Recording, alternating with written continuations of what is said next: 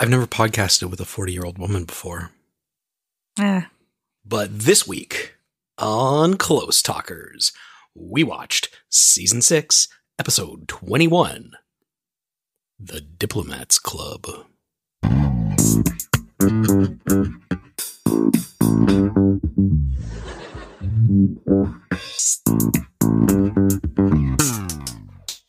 Hello, Katie. hello, Derek. Happy birthday. Thank you. So, what did you think of the Diplomats Club? Why didn't they call it the pilot? Because there already was an episode called The Pilot. Why didn't they call it the bet? The black friend. I think this this definitely could qualify on a list of like episodes that were poorly named. Mhm. Um, we'll talk about that a little bit. I think What did you think of it? Eh, it was it was kind of fine. I want to show you. I wrote, oof, George, George, oof, George, period. George, exclamation mark. Uh, George is, is officially a terrible person. it made me so uncomfortable. I went and I, I cut my nails. So, like we've talked before about how Larry David finds racial uncomfortableness funny, Mm-hmm. and through the lens of looking back uh, 30 years, that uncomfortableness, uh, what's the right way to say this? Like, if it was the uncomfortableness, like in, in Curb, there's a lot of the same thing, mm-hmm. but it's, you're laughing at how it's uncomfortable. Whereas this was, you were laughing at the, like the, the, you, you were supposed to be laughing at the actions. Yes, I know what you mean. The, the uncomfortableness. it very much felt like I was watching Larry David on screen. Oh yeah, big time. and I don't know, maybe it was maybe because it wasn't really in George's character. I feel like I know George is Larry David, but I feel like he would have had the awkward conversation with Mr. Morgan and the picture and then just like sat at the cafe and like fretted about it. Hmm. And really it turns out that Mr. Morgan doesn't care and like everything's fine. So, would it surprise you to find out that the genesis of this storyline was Larry David mentioning to Tom Gammill and Max Pross that Tom Wright looks like Sugar Ray Leonard? Oh. This is a Gammill and Pross joint. This is a Gammill and Pross joint. Of course. It was also directed by uh, Andy Ackerman. It aired on May 4th, 1995. Totally off topic here. When did May 4th become Star Wars Day? Whoever first thought of that thinks they're so clever. But that it, it wasn't until 2015. Yeah, probably. like I, I was I was I- so into Star Wars as a kid. What? When was- did Elf was- on the Shelf become a thing? It wasn't ever a thing, and all of a sudden, it's like this this long-standing tradition. It's like no, it came out of nowhere. It doesn't mean anything. It was made up. It's all made up. Parents don't need another thing to do. You know how I was complaining about how I have no culture? yes. Are you going to make Elf on the Shelf your culture? No, but I think Elf on the Shelf is an example of like secular uh white non-denominational culture. Yeah, but you already have Santa. I don't know. I, don't- I don't get it really. I, I think it's uh, I guess parents don't get to actually do anything, right? Like Santa gets all the credit, hmm. and parents with, I guess, time on their hands and nothing better to do want to stay up at night and move a toy around the house and be like, "The elf is watching you." I don't know. I don't. I don't know what the rules are. Isn't it just a way to keep your kids in line for the entire month of December? And you can't just be like Yeah, but Santa watches you all year. Vulture.com ranked this as the 108th best episode. Uh, Screen Crush had it at 152. Hmm. IMDb ranked it as an 8.1 out of 10, What? but that only brings it into 122nd Okay, that's terms of- that's fair. uh, rankings. Um, one thing that I noticed for the first time is that Seinfeld has a TV 14 rating Oh, uh, due to sex and smoking. was any of that in this episode? No, but I think it's the entire series, Oh. right? Like, uh, you see Newman smoke at one point, and uh, Elaine gets some sometimes. tiny bit of smoking and a tiny bit of sex. better not watch this until you're 14. Yeah. Let's throw it back to last week when I asked you if you remembered this episode.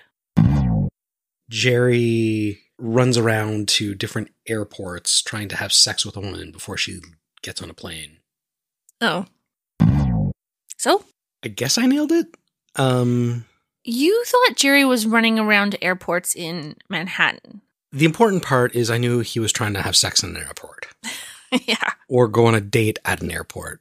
That wa- that the So- last thing I wrote was are they going to do it right there? That, that was the plan, I guess. Hmm. So let's say everything worked out. Uh-huh. They could have left the airport. Oh, they weren't going to spend 3 I thought, hours I thought they were the going to spend. I. I thought they were going to spend the entire time at the airport. I mean, what is what what's entailed in this diplomats club? So, Diplomats Club is a play on uh, American Airlines Ambassadors Club. So it's like the frequent flyer lounge. So it probably like I mean it's Like it's not it's a a bar ish type place. it's a lounge. It's Yeah. not like it's a hotel. It's like the lobby of a hotel. Yeah. You can't have sex in the lobby of a hotel. Just watch me. You can't have sex in the library. You can't you can't have sex in the library in the lobby of a hotel. There we go. You can't have sex in the lobby of a hotel. You can't have sex in the lobby of a hotel. You can't have sex in the lobby of a hotel. You can't have sex. You can't have sex in the lobby of a hotel. okay, I'm going to read the synopsis. Mr. Pitt thinks Elaine is trying to kill him. Jerry's act gets sidetracked by an airline pilot. Kramer wagers with a Texan at the airport. So, who were the guest stars? So we had several returning guest stars. We had Tom Wright playing the role of Mr. Morgan. We had Ian Abercrombie playing Justin Pitt. We had Robert Hooks playing Joe Temple. And uh, Deanna Theodore playing his daughter, Remy Temple. Uh, however, some of the new guest stars, we had uh, Deborah Jo Ripper. Rupp? Yeah, I can't read my own writing. Playing Katie. Mhm. She's obviously from uh, 200 episodes of that 70s show. She's out of my league and Big, starring Tom Hanks. Yes, but what has she been in? I know she's out of your league, but what's she been in? Ah. I could, I could, I could bag Deborah Jo Rupp or Deborah Jo Ripper. That's her stripper name. We had O'Neal Compton, who played Earl, the cowboy. Hmm. He was in uh, Nixon, Little Big League, and the movie that sounds like a porno, Deep Impact. Didn't we have a returning guest star in The Exterminator? Oh, I didn't write him down. Derek, that's racist. He doesn't have a picture on IMDb. That's racist. Um, and then uh, Bourbon Wagford played Bridget. Sorry, what's her name? Bur- Bourbon? Bur- Berlin? I can't read my writing. So it might not be Bourbon Wagford. It might be like Barbara Wegman. Her last name is definitely Wagford. Bourbon Wagford. I think it's B E R B E N. Bourbon. Bourbon. Berta. Yeah, Bourbon Wagford. Berta Wagford.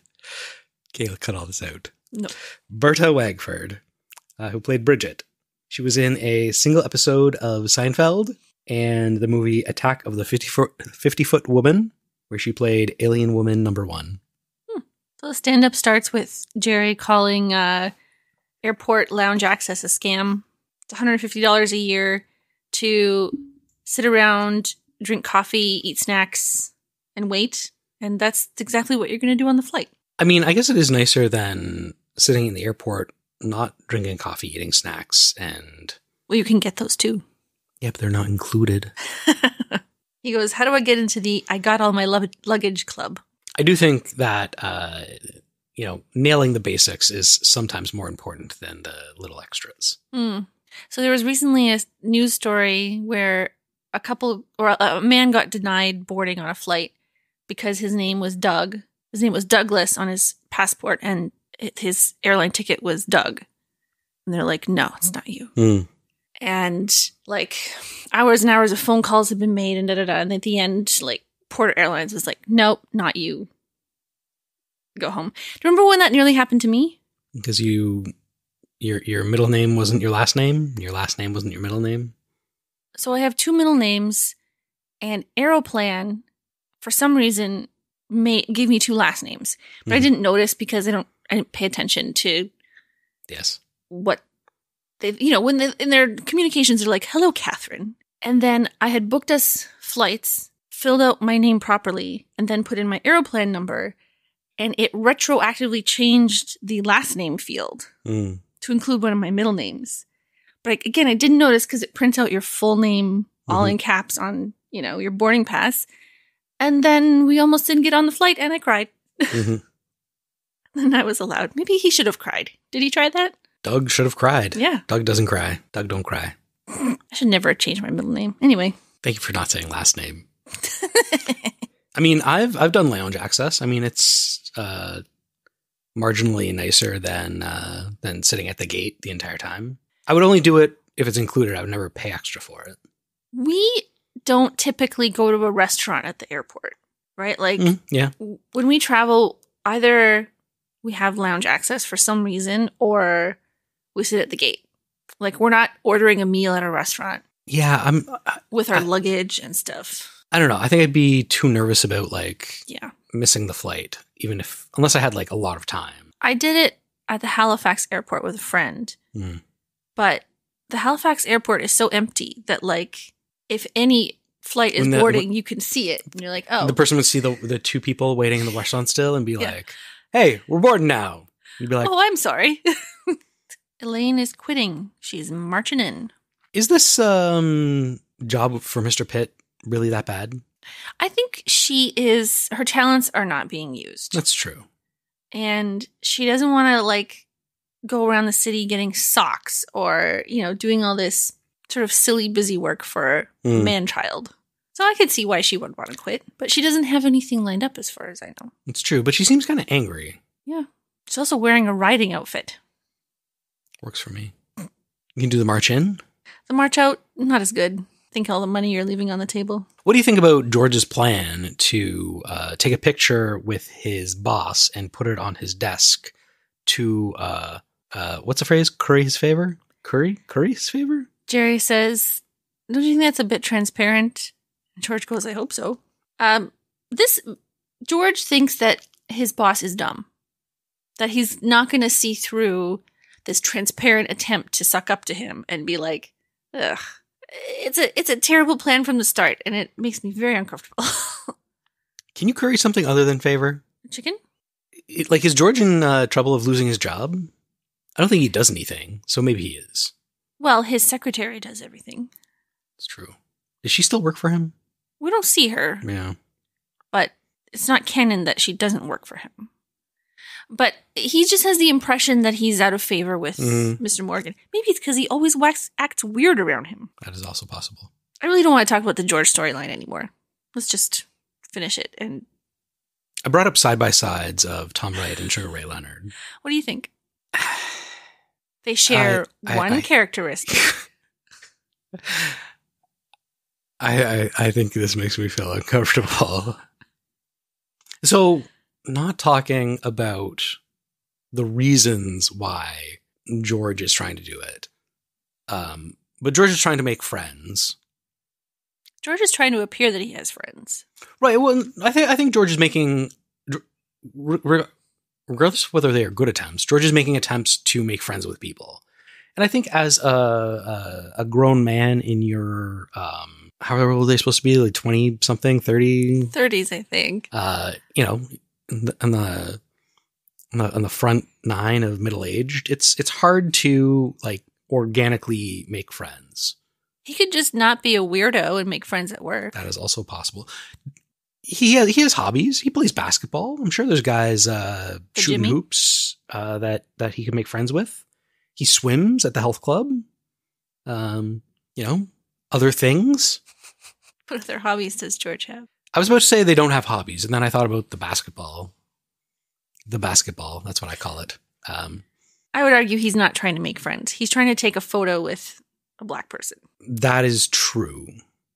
If he were, he, he realizes he doesn't have any friends, and so he's like, "How do how do I, how do I get a friend so I can take a photo with them and use them for this purpose?" He doesn't actually want the friend. No. So one thing I didn't understand, it's a very small detail. Uh, Jerry's flying to Ithaca for the day to do an Mhm. act, fly back, meet Bridget at the Diplomats Club. Kramer shows up at the cafe, the cafe, the the diner, Mm-hmm. To take him to the airport. take him to the airport, says, Where's your luggage? He says, All I need is this, just going for the day. Just got to stop at the pharmacy, pick up a toothbrush. Why does he need a toothbrush? Why do you need a toothbrush? Is it just to freshen up before the sex at the Diplomats Club? Maybe, but you could get some gum at the airport. No, swish with uh, some vodka. I don't know. I, I think like Is he gonna pat like fall asleep on the forty-five minute flight? freshening up, like like if you're just gonna brush your teeth, like like throw in some deodorant, do a little Yeah. uh, horse bath. Like, come on, he's been stinking all day. Like when, whenever you get off a flight, regardless of how long it is, Yeah. you're pretty stinky. So George is trying to get uh, Kramer to. He shows him the photo of Mr. Morgan, and he says, "Who does this look like?" He's like, "I don't know." And he goes, "It's not salt. It's." Kramer says, "Pepper Johnson, who's a real person, Mhm. NFL player." Does he have any um, passing resemblance to Sugar Nope. Ray Leonard? Hmm. Do we know that why Kramer's not supposed to be betting? Was there a reason? I don't think so. I think it just shows up in this uh, episode. So Jerry has this helper, It's a manager, yeah. Katie. She's like the second most annoying Katie I know. I'm going to start saying, now I don't want you to freak out in front of the most benign things. So the genesis of this storyline is Jerry Seinfeld went on tour with his manager. Handler. This is what I'm talking Handler? That's the word I was looking for. Sure. Uh, and at one point, they mentioned, "Hey, I don't want you to freak out, but the pilot is going to be in the crowd tonight." I, it, I mean, all I'm going to say is, if if you're looking for the best strippers, they're not at the club at 3 p.m. on a weekday. Deborah Joe Ripper. Deborah Joe Ripper. So, okay, I'm going to skip ahead to where Kramer and the, the cowboy are betting on flight delays. And Kramer gets $3,200 in the hole. Mhm. And he calls Newman. And Newman has a decadent cookie jar. Mm-hmm. Those are Canadian. Oh yeah, It was not the bag. He needs some collateral. Yep. The bag. Son of Sam's mailbag. How much was um, Jeffrey Dahmer in the like pop culture in the '90s? I don't know, but how much was Sam Berkowitz? Also him. this is like this is like me mixing up the Full Monty and Billy Elliot all over again. I think Jeffrey Dahmer would be the Full Monty, and Sam Berkowitz would be Billy Elliot. Okay. I think that's the tagline of this episode. I don't know. Uh I mean, I was 10 years old. Hmm. You know, I, I I don't know what the zeitgeist was in the 90s. Sure. But I feel like where was Jeffrey Dahmer in New York? Uh, I, I'm- I don't know. I, don't- haven't seen any of the Netflix doc- documentaries, so I, I don't know. But Son of Sam was, so it probably would be more relevant top to these for guys. them. Yeah. Okay. Fair. So Jerry's kicked off the plane because the pilot is making the pilot uncomfortable. And he wants to get back to the Diplomats Club to meet Bourbon Whiskey, or whatever. Bourbon Whiskey? is. Mhm. So driving from Ithaca to like Midtown Manhattan, I should have done the airport, but I just said Manhattan.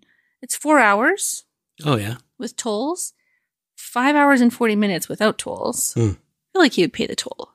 Oh yeah. You definitely pay for sex. From Ottawa to Ithaca is four hours. Oh. It's almost not worth it to uh to fly for four hours. I don't know. It depends.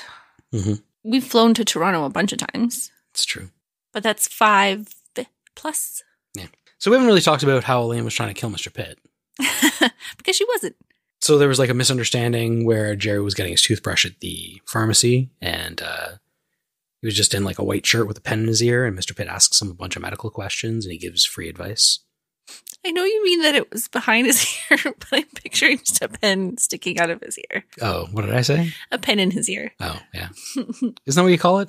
behind his ear. if you ear? have a pen uh, get uh midjourney to to draw man with pen in his ear Okay, and if midjourney gets what you think will happen I win. no but it's a wrong one it's like how ai can't understand when you're like if you say like uh give me a picture of an artist painting a cat, and it would like have somebody like painting a pet cat, not like a picture of a cat. Doesn't understand these abstract concepts. Okay, the command is sent, so we're waiting. We're, we're going to wait on the results. I think if you say you have a pen, a pen. I'm questioning myself now. If you have a pen in your ear, it means a pen behind your ear. No. This is a this is this is a saying. No, it isn't. Okay, if you just Google pen in your ear, uh, the fourth picture is somebody with a pen behind their ear. what are the first three? Uh, the first one is a ma- picture of a man with a key sticking into his ear. So Well, Midjourney did not understand me. It gave me four men with like Bluetooth headsets. there you go. There's a there's a non-zero amount of uh, pictures of people with pens behind their ears based off uh, what I uh, googled. So Katie drives off the road, and the bumpiness wakes up Jerry, and he goes, "What's going on? What happened to the road? Oh, we lost the road half an hour." ago." You told me not to bother you with the small details. And she drives into a pool, and everything gets tied up because Mr. Pitt sees Jerry on TV, and his estate executor. His lawyer? Well, she refers to her, herself as the executor of his estate, Hmm. who's still there for some reason. Looking after Mr. Pitt. Almost Recogni- died. Recognizes This- well, that's this- not that's not their job. Still there. It's all just one day. The executor doesn't do anything until the person has died. Hmm. So what's she doing there? Is she in the will? She's probably a, a family friend or something. I had a question about murdering Mr. Pitt. Yes. Does smothering somebody with a pillow really work? Yes. I don't buy it. You want to try? Sure, go. Let's go. Of course it works. I don't, It takes I, a really long time, but it works. There are more efficient ways to murder somebody. when you say a really long time, how many minutes? To murder somebody with your hands takes like four minutes. Yeah, So with a pillow, it's got to be like 10. that's a long time to smother someone. Yeah. There are better ways to do it. Mhm. But it's possible. It, it, it, you, you would die. I mean, I was having a conversation today about um, and and Jerry's behavior made me think of it. I do think that Jerry leans a little bit more into like the aggressive tone, but I think he's trying to be just like assertive and be like to Katie, "You're doing this poorly." Mm-hmm. Um, but he just gets like super agitated and it like it, it it goes into the realm of aggression.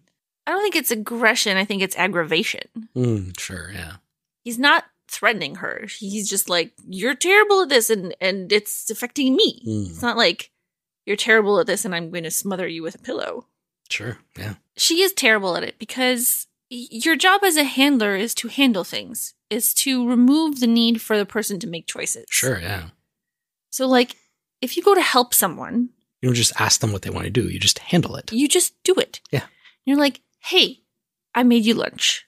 Here you go. It's Mhm. not like, hey, what do you want for lunch? You can have this, you can have this, or I go here, and then that the the burden is on the the helpee to decide. Mhm. That's not helping anymore. Yeah. It's like the difference between um, asking someone like, "Oh, can you do this for me?" versus saying like, "Oh, can you do this for me by doing X, Y, Z?" Yeah. and it's like one is a help, the other is just instructions. Well, also it takes longer to to tell someone exactly how you want something done. Just do it, yeah. Just do it. the uh, the scene of the restaurant with uh, Mr. Morgan sitting alone is just like one sitting alone in the middle of the restaurant. Like it just looks awkward. Maybe because he gets to eat there for free. True. Maybe they were trying to like, hey everybody, look at the celebrity. I don't know. This this episode fizzles at the end with Jerry and Barbara making out and the pilot just like slowly drives by. We we we have this menacing thing for no reason. Hmm. Just throws Jerry off. It's a bad episode. So they uh, they try to cast a couple of different people to play the role of the pilot, and uh, eventually they just cast the guy that delivered bottled water to the office. Oh, Uh, I don't doubt he's not an actor. He doesn't move his face ever. He just sits motionless, looking slightly off camera. Mm-hmm. In the- in the club? Jerry off. Yeah. in the club, in, In the, the plane. plane. He's not looking at the plane or anything. Nope. This window seems awfully close to the plane too. The wings. Where are the wings going to go? I don't know. Maybe the Diplomats Club is like an overhang. Hmm. I don't know. You can get really up close to the to the pilot. Okay, let's stop talking about this bad episode. I don't like it. Okay, Oh, one thing I did like was the emotional montage when Mr. Pitt fires Elaine. that was very nice. So I have some uh, notes about our last episode. Sure. This is the one where Kramer gets the ass man plates. Mhm. We said ass 34 times in the podcast. That's pretty good. It's, yeah, it's decent. Um, and I tried looking up the standard and practices for language, and the only thing I could find online was the Telemundo document. Okay. Um, so now I know which words you can't say on TV in Spanish. Mhm. But it also had an English list. Stop saying the words. I'm going to have to beep all these things. Punta But okay. Cana. now you're just saying La Romana. They're just saying cities in the Dominican Republic. Uh-huh. The English list is what you would expect, but I laughed out loud because you can't say balls. Unless you're talking about basketballs. Yeah. Unless you're talking about gym class. You gonna do another one? Let's talk about Christmas ornaments. So we argued about whether Kramer was getting vanity plates or not. Hmm. The Netflix summary says Kramer is issued the wrong vanity license plate. So that makes me think he was expecting vanity license plates. Interesting. But it's just the Netflix summary. So Yeah. um and did you know that actor Ruth Cohen played the cashier at Monk's Cafe in the background of 101 episodes? Hmm. She's often listed as uncredited. She is the most frequent appearance aside from the four main actors. Well, yeah, I believe that. And she spoke in three episodes. That's all I had. Um, so two things. The first is something that I just figured out this episode that I forgot to mention. I thought I mentioned it now before I forget. So we sometimes question the rankings of the vulture.com and the screen crush. And we're like, did they even like watch the episode? Uh, based off the description of and the reasoning behind the ranking for this episode on Screen Crush, he says basically he- didn't rewatch any of the episodes. Oh. He's just going by memory and reading like synopsises, synopsises, Synopses. synopses, synopses, uh, to try to remember them and rank them. And he's like, Well, that's garbage. yeah, it's it's kind of kind of BS. I don't know how I feel about that. I felt like they were the better rankings until now.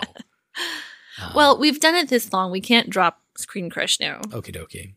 The other thing is I tried to Google what the move was. Yeah. And I found a six year old article, uh, which was based off a 10 year old Reddit post. Okay. The, the, the best they came up with was uh,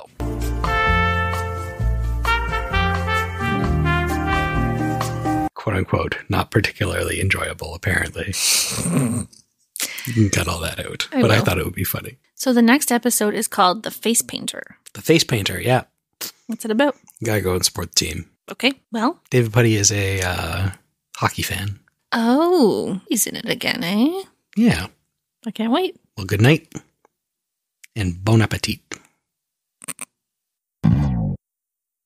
Believe it or not, this is our podcast. Please subscribe at the end. If you subscribed, we would be happy. Please subscribe to us. Believe it or not, it's our podcast. Is that a Seinfeld reference?